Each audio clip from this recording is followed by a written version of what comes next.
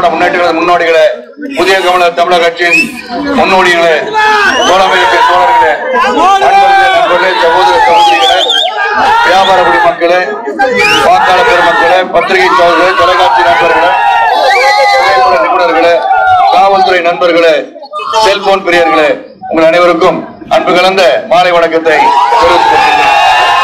நடைபெற இருக்கின்ற நாடாளுமன்ற தேர்தலில் அனைத்து அண்ணா திராவிட முன்னேற்ற கழகத்தின் வேட்பாளராம் அனைத்து தோழமை கட்சியின் ஆதரவு பெற்ற வேட்பாளராம் அன்பு அண்ணன் டாக்டர் கிருஷ்ணசாமி அவர் படித்தவர் பண்புள்ளவர். உங்களுக்காக இந்த தொகுதியின் குரல்கள் பாராளுமன்றத்தில் ஒழிக்கச் செய்ய சிறந்த ஒரு வேட்பாளரை தான் அடையாளம் காட்டப்பட்டிருக்கிறார். ஏற்கனவே சட்டமன்ற உறுப்பினராக இருந்து அவர்கள் தொகுதிக்கு சிறப்பாக செயல்பட்ட நல்ல ஒரு மனிதரை பண்புள்ள படித்த பண்புள்ள ஒரு வேட்பாளரை தான் தென்காசி பாராளுமன்றத்திற்கு அனைவரும் ஆதரித்திருக்கிறார்கள்.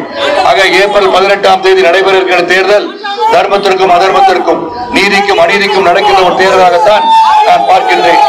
கடந்த இருபத்தி ஏழாம் தேதி முதல் எங்கு சென்றாலும் மக்கள் நாங்கள் அனைவரும் அனைத்து அண்ணா திராவிட முன்னேற்ற கழகமும் பாரதிய ஜனதா கட்சியும் உருவாக்கியிருக்கின்ற மெகா கூட்டணிக்கு தான் வாக்களிக்க போகிறோம் என்ற உணர்வை தான் என்னால் எங்கும் பார்க்க முடிந்தது என்பதை உங்களுடன் பகிர்ந்து கொள்வதில் நான் பெரும் மகிழ்ச்சி அடைகின்றேன்.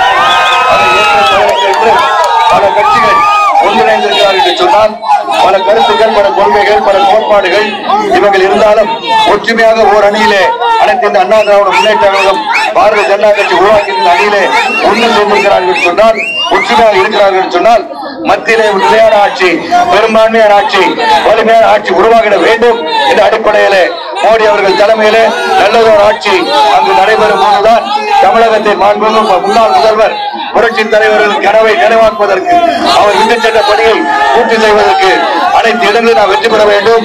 அனைத்து இடங்களில் நாம் வெற்றி பெற வேண்டும் என்றால் இங்கு நமது வேட்பாளர் உங்கள் வேட்பாளர் அனைத்து அண்ணா திராவிட முன்னேற்ற கழகத்தின் வேட்பாளர் புதிய தமிழக கட்சியின் வேட்பாளர் அன்பு அண்ணன் கிருஷ்ணசாமி அவர்களுக்கு இரட்டை சிறந்த வாக்களித்து அதாவது வெற்றி பெற செய்யுமாறு தாழ்வுடன் கேட்டுக்கொண்டு திறம் தாழ்த்தி வேண்டி எதிர்த்திருப்புகளை டெபாசிட் இழக்க செய்யுமாறு தாழ்வுடன் கேட்டுக்கொண்டு விடைபெறுகின்றேன். நன்றி வணக்கம். நேர்தன்மை காரணமாக அதிகமாக கருத்துக்களை பதிவு செய்ய முடியவில்லை நிச்சயமாக வெற்றி விழாவில் உங்களை சந்திக்கிறேன் என்று கூறி விடைபெறுகின்றேன். நன்றி வணக்கம்.